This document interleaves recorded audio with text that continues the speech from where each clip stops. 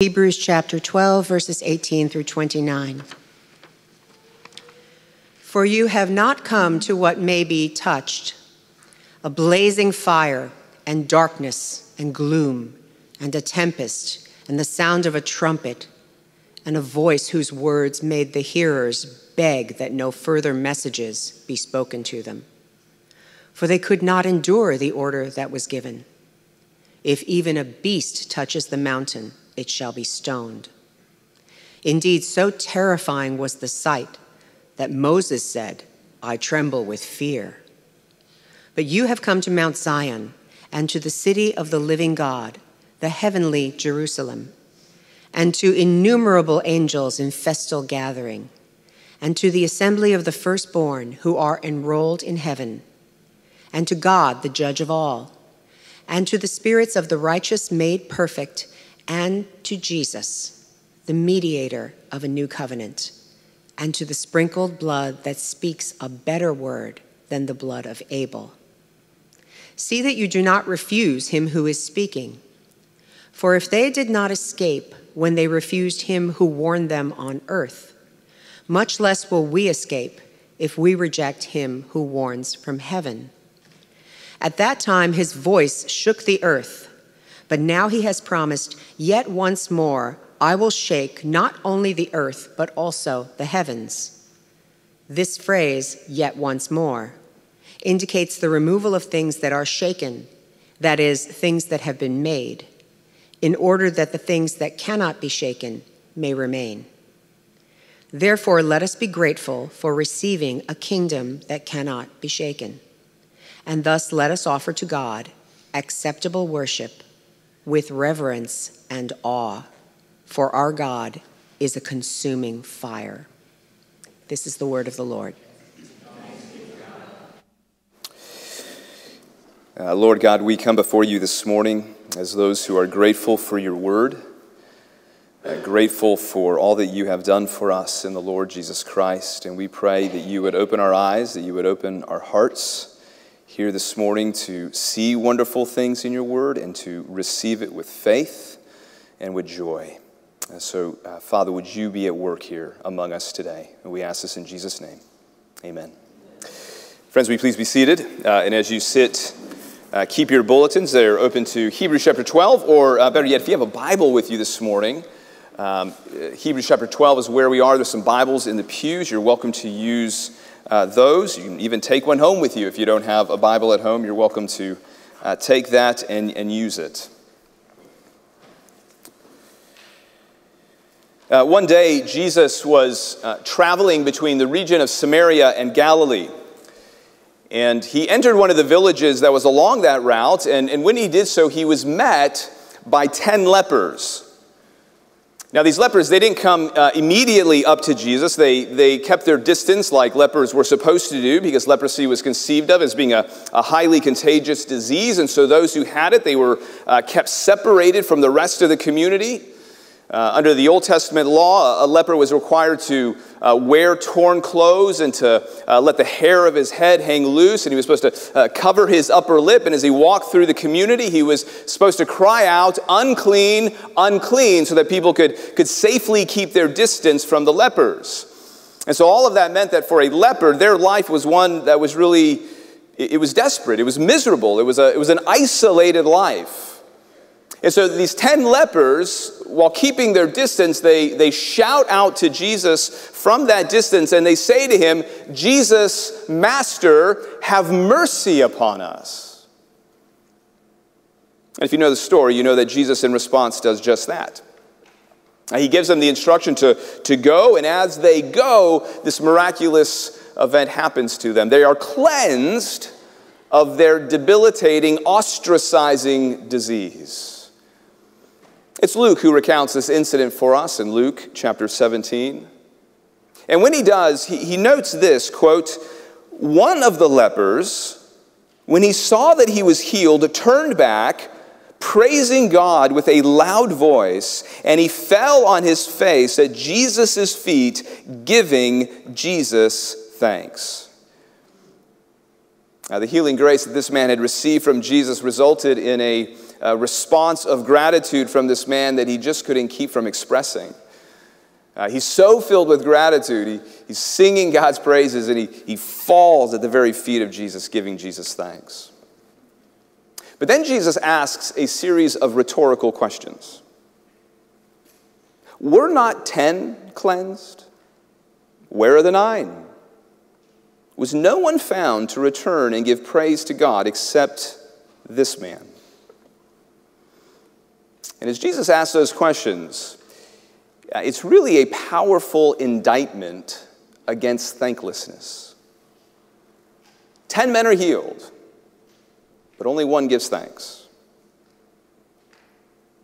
Uh, friends, I open with that story here this morning uh, because my prayer for us today is that each of us will leave here today like that one healed leper, praising and thanking God for all that he has done for us in the Lord Jesus Christ. Because that's what this passage from Hebrews chapter 12 is, in fact, designed to do in our lives. It's designed to draw out from us a response of enduring gratitude. So, we are uh, continuing our study of Hebrews uh, here this morning, and what we're looking at here today is a continuation from what we finished last week. And if you, you look at the very first word there of verse 18, you can see the connection going backwards. Uh, verse 18 begins with the word for, okay, which means that it's building on a point that was made in the previous verses. And the point that was made immediately before this was a warning to not be like Esau. So if you have a, a, Bible open in front of you, look at verse 16, where we were instructed in verse 16 to make sure that no one is sexually immoral or unholy like Esau, who sold his birthright for a single meal. For you know that afterward, when he desired to inherit the blessing, he was rejected, for he found no chance to repent, though he sought it with tears. Okay, so, so Esau, he, he was the firstborn son. He had, the, he had the birthright of a firstborn son. And all of the, the amazing blessings and, and promises that went with that in that day. And yet, what we learn here, and what we learn as you read in Genesis, is he gave, he gave all of that up for a single meal. Uh, he traded the joy and the blessing of a, of a firstborn son for the, the fleeting physical satisfaction and comfort of this world. And so that's the point being uh, made immediately before our passage today, and which our passage then is building on. And our passage is building on it in such a way that what verses 18 to 29 are doing is giving us further reasons for why we shouldn't be like Esau. Like, why shouldn't we be like Esau? Verse 18, for you have not come to what may be touched, etc. And in fact, verses 18 to 29 here are really the, the culmination of the argument of this entire letter. I actually think you could say that this whole letter has been written in order to help this, this Hebrew uh, church filled with these Hebrew Christians to, to not become a church that's filled with lots of Esau's. In other words, this whole letter is written to keep them from, from letting go of those tremendous blessings that they have in Jesus and exchanging those blessings for, for mere temporary physical comforts that will not last. Because that's the temptation they're facing. Life in this world is becoming difficult for them as followers of Jesus, and so the temptation is to go back to their old Jewish way of life so they can then, they think, have more satisfaction and more ease and more comfort in this world. And so this whole letter is essentially saying, don't do it. Don't you remember? That's what Esau did. He gave it all up. Don't be like Esau. And thus, so much of the teaching of this letter is summarized here now in verses 18 to 29. And so, friends, here's what I recommend you doing today. Uh, after our study here today, I recommend you go home and you read through all of Hebrews again so that you can see even more clearly just how all of the teaching and the theology of the first 11 and a half chapters is, is packed tightly into the second half here of chapter 12. Because the number of, of connections and themes is extraordinarily rich and edifying. And so all that means that there's lots we could say here this morning. We're going to try to keep things simple, though. So here, here's what we're going to emphasize today, just very simply. The main point of these verses is to say, don't be like Esau, and here's why. And the way the author makes that point is by once again showing us the vast superiority of the new covenant to the old covenant. And the primary way he shows us that is by contrasting two mountains and two kingdoms. Okay, so we're going to look at those two contrasts and then we'll, we'll finish up by considering the response of gratitude and worship that all of this demands of us. Right? Unlike Esau, who wasn't grateful for his birthright, uh, we want to be those who express the right kind of gratitude to God for the blessings that we have in Jesus. So, to help us uh, get to that place of gratitude, uh, the first and primary contrast we see here is that between two mountains. Uh, verses 18 to 21 uh, describe Mount Sinai and, and all that that mountain symbolizes. And then, in contrast, verses 22 to 24 describe Mount Zion and all that that mountain symbolizes. Now, uh, Mount Sinai isn't actually mentioned by name here, but that's what's being described in verses 18 to 21. Look at verse 18. For you have not come to what may be touched, a blazing fire and darkness and gloom and a tempest, and the sound of a trumpet and a voice whose words made the hearers beg that no further messages be spoken to them. For they could not endure the order that was given if even a beast touches the mountain, it shall be stoned. Indeed, so terrifying was the sight that Moses said, I tremble with fear. So, if you were to go and you were to read uh, Exodus chapter 19 in the Old Testament, those are the things that you would read about, which took place at Mount Sinai. Uh, shortly after uh, the Israelites left Egypt, they came to Mount Sinai. And remember, Moses, he'd gone up on the mountain to meet with God, where he would receive the Ten Commandments. Uh, but with that came everything that's described here in Hebrews 12. Uh, there was fire and, and darkness and, and gloom surrounding the whole thing. And, and there were strict limits on how close the people could get to the mountain. Hence the instruction that even if an animal touches the mountain, that animal needs to be killed. And the people, they, they were terrified by the whole scene, and, and rightly so. Because, because what was being revealed in all of that is the absolute holiness of God. Uh, that's what the law that Moses had received from God revealed. It revealed the holy character of God.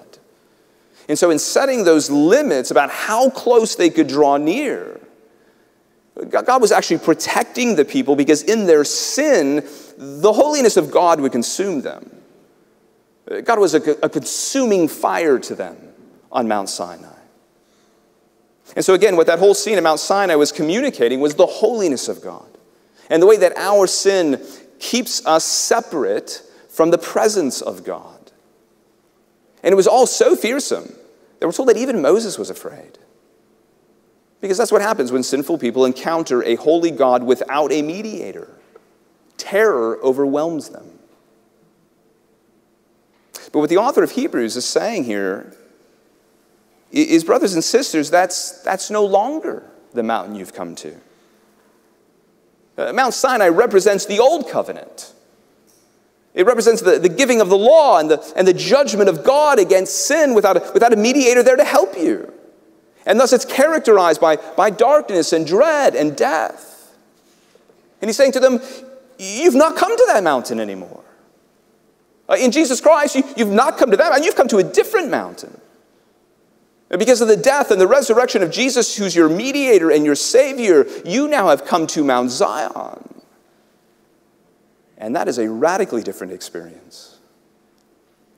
Uh, whereas Mount Sinai is very physical and earthly, Mount Zion is spiritual and heavenly. And whereas Mount Sinai is filled with darkness and fear and restrictions about how close you can get, Mount Zion is the exact opposite. It's characterized by joy and celebration and, and community and, and closeness to God. At Mount Zion, you can actually draw near to God. And because of the blood of Jesus covering you, not be destroyed by his holiness. Look at the description given there in verse 22 and the sharp contrast being drawn. But you have come to Mount Zion and to the city of the living God, the heavenly Jerusalem, and to innumerable angels in festal gathering, and to the assembly of the firstborn who are enrolled in heaven, and to God, the judge of all, and to the spirits of the righteous made perfect, and to Jesus, the mediator of a new covenant, and to the sprinkled blood that speaks a better word than the blood of Abel. So, again, when Hebrews uses here the language of Mount Zion, it's, it's not a reference to an earthly mountain. Uh, the, the clear reference here is to a heavenly mountain. But the reason the name Mount Zion is used is because Zion and, and Jerusalem are essentially interchangeable terms in the Bible. Uh, Mount Zion had eventually become so identified with Jerusalem that it became uh, basically synonymous with the city. And so when the Bible then uh, looks ahead to the, to the new creation that's to come, as is described in the book of Revelation, right, the, the heavenly city of God is called the New Jerusalem. It's called the, the heavenly Jerusalem, and thus the term here, Mount Zion. And so, in one sense, what's being described is a, a future reality for us because we're not actually in heaven yet. But on the other hand, it's a reality that's also very much true for us right now because of the cross of Jesus, which is why the author speaks about this in the present tense. You have come to Mount Zion. In other words, Christian, this is true of you now. But this is your reality even now before you get to heaven and experience it in full by the blood of Jesus Christ. You can right now draw near to God who is the judge of all. That was the message to this church. And friends, that same message is being declared to us here this morning as well. That in Jesus we have the most extraordinary blessings given to us. Uh, when we put our faith in Jesus, it means that we don't need to go to any earthly mountain or human shrine to meet God. Rather, we have come to a heavenly spiritual city that's accessible to us anywhere in this world. It's the assembly of heaven itself, where gathered are innumerable angels in festal gathering. You can't even count the number of angels that surround the throne of God as they sing his praises and bask in his glory. And it's not just angels who are gathered there, it's all the people of God, uh, including that whole cloud of witnesses that we, we studied back in chapter 11. Uh, described here as being the assembly of the firstborn who are enrolled in heaven. In other words, for those who uh, put their faith in Jesus and are relying on him as their high priest and mediator before God, their names, your names, brothers and sisters, are written in heaven. You are enrolled in heaven. Right, even right now, as you trudge through this city, you slog through your days, you are enrolled in heaven. And what's even more amazing is that you're not enrolled as a second class citizen, but rather you're enrolled as one who's firstborn. What a privilege that is. Now, that's not because of you. You didn't earn that title, that identity. Uh, you don't get that special enrollment as the firstborn because of some merit you achieved. Uh, you get that designation because of Jesus. Uh, Jesus is the firstborn par excellence, and you are united to Jesus by faith. And so, brothers and sisters, what that means, you see, is that every Christian believer who's ever lived, including you and me here today, together, we right now form this assembly of the firstborn who are enrolled in heaven. I mean, this is a glorious thought. We're part of this heavenly assembly. By the way, um, let me just do a little bit of a sidebar here. It probably another, I've been here for 12 years, probably another 12 years before I preach on Hebrews 12 again. So just a little bit of a sidebar. Uh, this word translated here as assembly, you see that there? Uh, verse 23. That word is the word ecclesia. Okay, the word that we usually use to translate the word church. So when you're reading through your New Testament, you come across the word church. Behind that is the Greek word ecclesia. That's the word that's being used here, translated as assembly. In fact, uh, maybe in your Bible there, they translate it like that, or they give you a footnote that, that what's, you could, you could you say the, the church of the firstborn who are enrolled in heaven. Now that's significant. Here's why. It's significant because this is what the Bible means by the idea that sometimes is referred to as the universal church. Um, contrary to the way that Christians maybe sometimes speak, the Bible doesn't really speak of there being a universal church on earth. I, I think sometimes we, we maybe wrongly think that a, the universal church is made up of all of the churches all over the earth, right? And that's the universal church. You put them all together, you get the universal church. But actually, biblically, this here in Hebrews 12 is the universal church. It's the assembly of the firstborn who are enrolled in heaven, which again is formed by every believer who's ever lived, including us here today.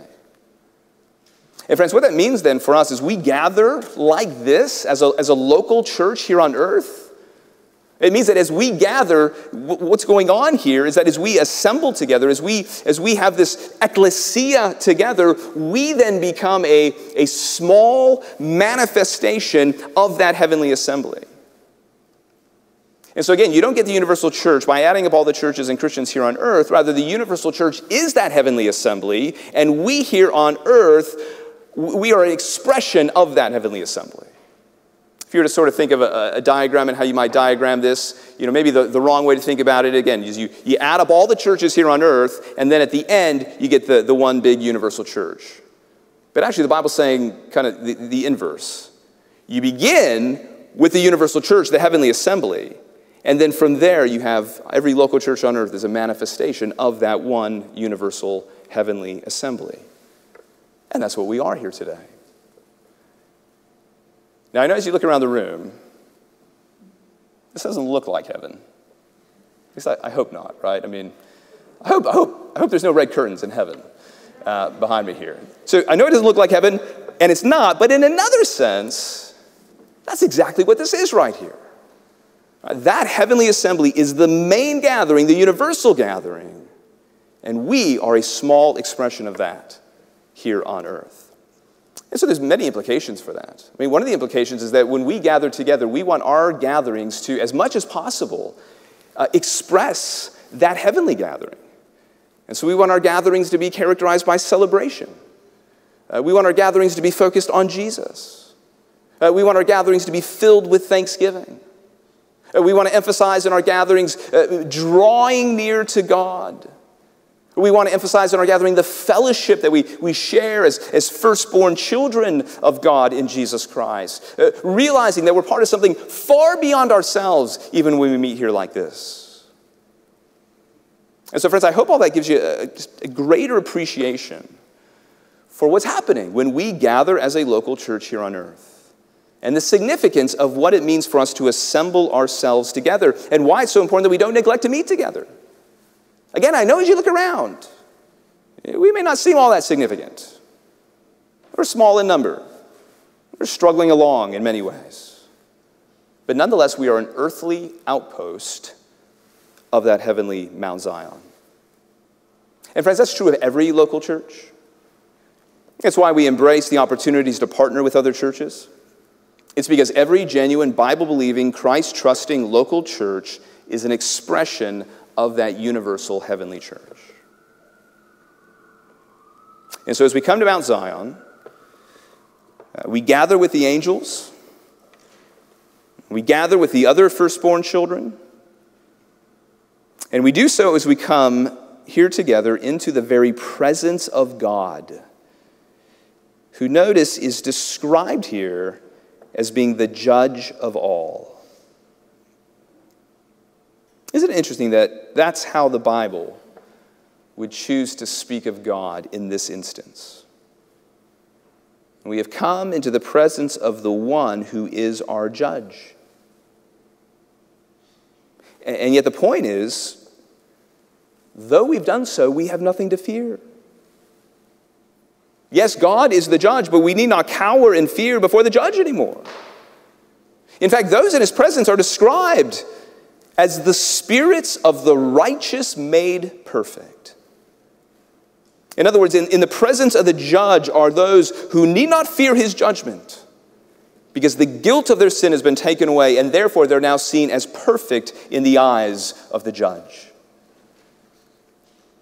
And of course, the reason why is because there, right beside the judge, is Jesus himself, described here as the mediator of a new covenant. And so we can draw near to God, who is the judge of all.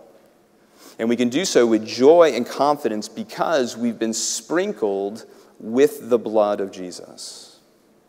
And as verse 24 tells us, the sprinkled blood of Jesus speaks a better word than the blood of Abel. Uh, when Abel was murdered by his brother Cain, uh, his blood cried out for justice and, and for vengeance. But you see, the, the blood of Jesus speaks a better word. Uh, on the cross, Jesus received God's judgment for our sin. And so the blood of Jesus now speaks not, not a word of, of judgment against us, rather, it speaks the word of forgiveness and mercy and grace. Again, contrast that with Mount Sinai. At Mount Sinai, the speaking of God was such that they, said, No more. They said, God, stop speaking. We, we don't want to hear it no more. We can't take it.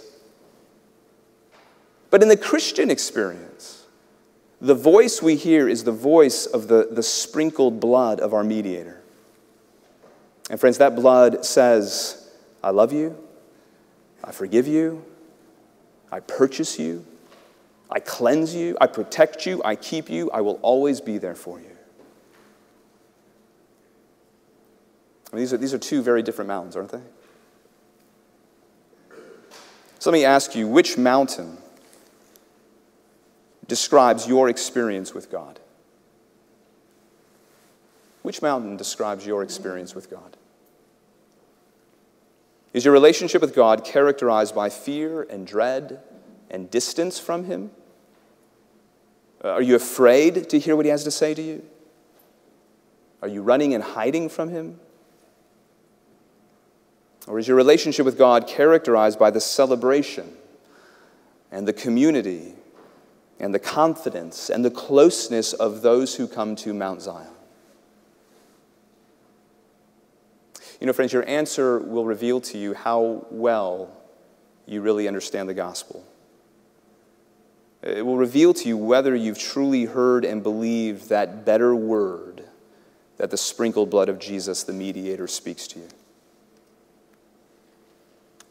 And, Christian friends, again, the point here is to challenge us to not forsake these extraordinary blessings that we have in Jesus. Again, don't be like Esau. Remember, Esau was identified as the firstborn. That was Esau's birthright. But he gave it up. For a pot of soup, he gave it up. You know, would you really give up all of the heavenly spiritual blessings of Mount Zion for some, some fleeting earthly comfort and for a life where you try to live in the presence of God without a mediator? Brothers and sisters, to do so would be as foolish and short sighted as exchanging your birthright for a single meal. So that's the first contrast. Don't be like Esau, because you have not come to Mount Sinai Rather, you have come to Mount Zion with all of its blessings and privileges. And then, secondly, beginning at verse 25, we're also shown here a contrast between two kingdoms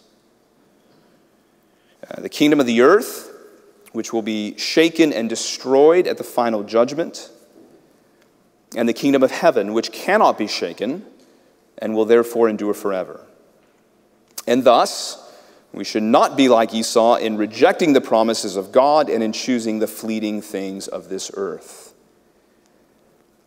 Uh, as we've seen so many times in this letter, not only are we uh, being encouraged and exhorted to endure uh, by, by giving us uh, blessings and, and descriptions of glory and thus motivating us in that way, but, but we're also exhorted and encouraged through warnings and, and a description of the consequences of what happens if we don't endure.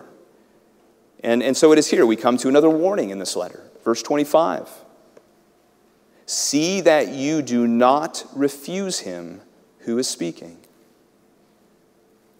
The blood of Jesus speaks grace and love to us. It's a wonderful word, it's a gracious gift, but it has to be accepted. Uh, we must not refuse it.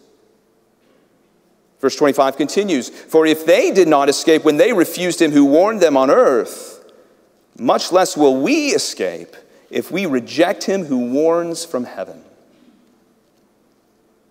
Okay, so those at Mount Sinai who failed to heed God's warnings, they, they came under judgment. And the same is true now if we reject this warning that Jesus is giving us from heaven, which is the warning that apart from his mediating work, we will face the judgment of God.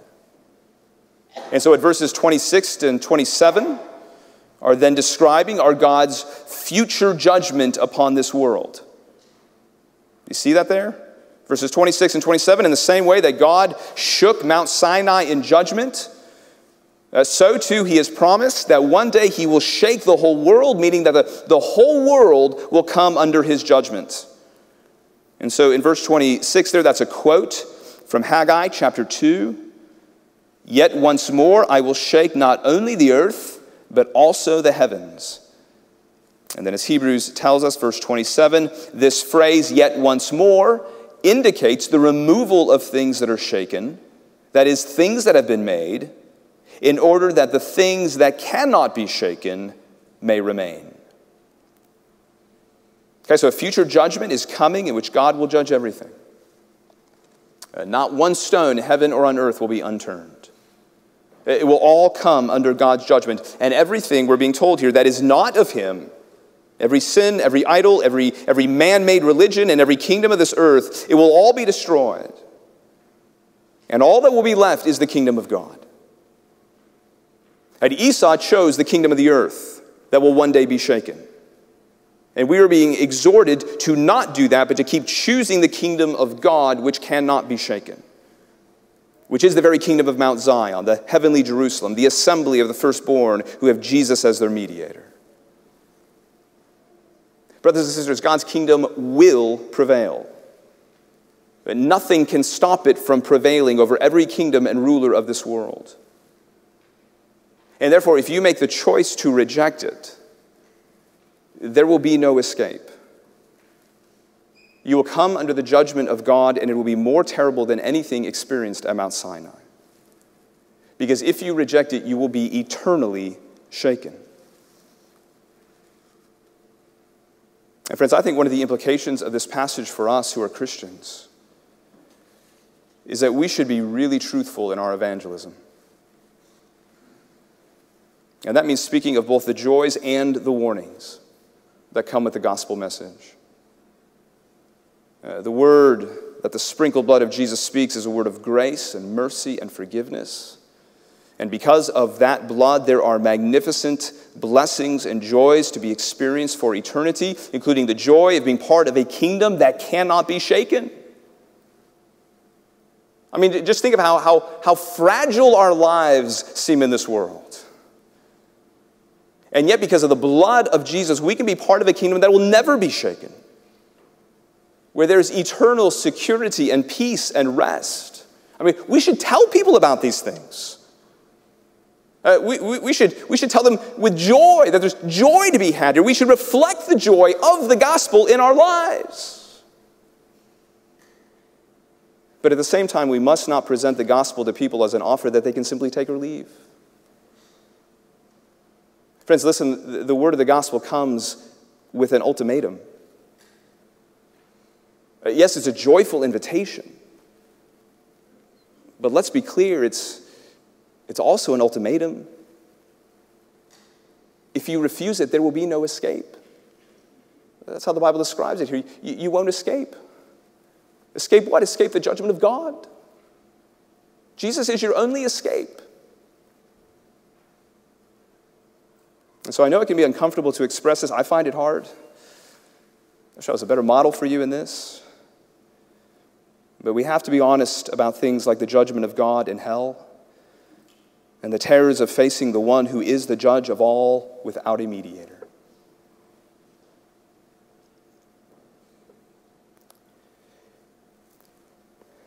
So we have a contrast between two mountains. We have a contrast between two kingdoms. And the goal of which is to help us see why we should not be like Esau, who turned his back on all that was good for the fleeting pleasures of that which will not last. And so, all of that here now brings us to the proper way in which we should respond. Now look at verse 28. Therefore, let us be grateful for receiving a kingdom that cannot be shaken. And thus let us offer to God acceptable worship with reverence and awe. Friends, why, why do you think it is that people walk away from faith in Christ? Now, I realize that even as I ask that question, there are no doubt many answers to it. Many people wrestling with very difficult things, they're trying to sort through, trying to understand, wrestling with God. But, but still, I mean, even given that, I mean, there's so many blessings. The, joys of Mount Zion are so spectacular. The promise of this heavenly city to come, which, which we get to experience even now. Uh, the kindness of God in giving us a mediator who covers our sins by his blood, the assurance of an unshakable kingdom. I mean, why would anybody see and believe these things at one moment in their life and then come to the point where they say, No more, I don't want it, I, I'm willing to let it all go? I mean, how does that happen? Well, again, no doubt there are many reasons, I suppose. But perhaps one of the most significant factors that leads to this kind of willingness to let go of such blessings begins with a failure to give thanks. There is in fact good biblical support for such an idea. Uh, Romans 1:21 indicates that actually at the root of all sin and rebellion against God is a lack of gratitude to God.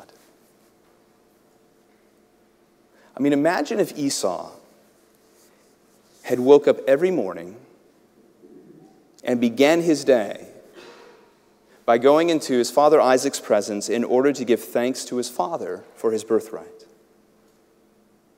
Father, I'm so grateful to be part of your family. I'm so grateful for this, this privilege that I have. I don't deserve it. I'm so grateful that you're my father. I love you and I want to honor you in all that I do.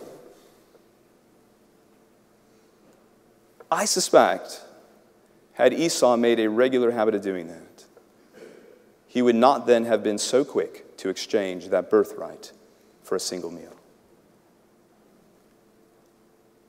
And so the response that the author of Hebrews is calling us to is a response of gratefulness. You belong to a kingdom that cannot be shaken. So be grateful. Christian friends, cultivating gratitude in your hearts will keep you from wandering away from God. And not only that, but as you cultivate this gratitude, it will naturally lead to the second way we're called to respond here, and that's to offer to God acceptable worship. In other words, worship God as those who are grateful. Worship God as those who are humble. Worship God as those who are dependent on the blood of Jesus for such worship. Worship God as those who understand and acknowledge just how much they've been forgiven. Like, like that one lone leper who returned to Jesus. He, being healed of his leprosy, changed his life. Because we understand how much we've been forgiven.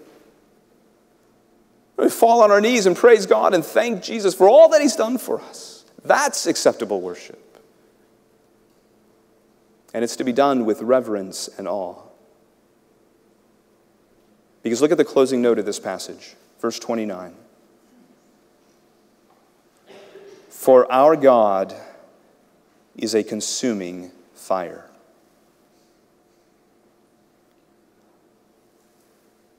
Friends, does it surprise you that our passage ends on that note? The note that our God, in his holiness and majesty, is a consuming fire? Well, here's what we must understand. We must understand the God of Mount Zion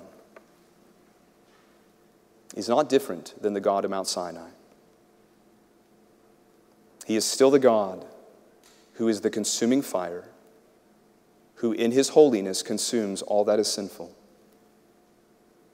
The only difference is that we now have a mediator by which we can draw near to this God who is a consuming fire. we now have the blood of Jesus that covers all of our sin so that we're not consumed by the fire of his holiness. And you see, when, when you don't let yourself forget that, right, when you don't try to trivialize God and ignore his holiness, the recognition of his holiness then only serves to accentuate the glory and beauty of his grace all the more. And the more these realities sink into you, the more consistently grateful you become. So let me encourage you to, to develop the daily habit of thanking the Lord for the salvation He's given you. Actually, verbalize it. Uh, literally, tell Him that you're grateful. Speak the words. Uh, tell Him how grateful you are that He's enrolled you in heaven as part of the assembly of the firstborn. Thank Him for the, the privilege of being able to draw near to Him, not with fear and dread, but with confidence and joy. In other words, thank Him for all the blessings associated with Mount Zion. Thank Him for allowing you to be part of this kingdom that cannot be shaken. Thank Him for the blood of Jesus, your mediator. Let me invite you to take a few moments on your own to do that just now.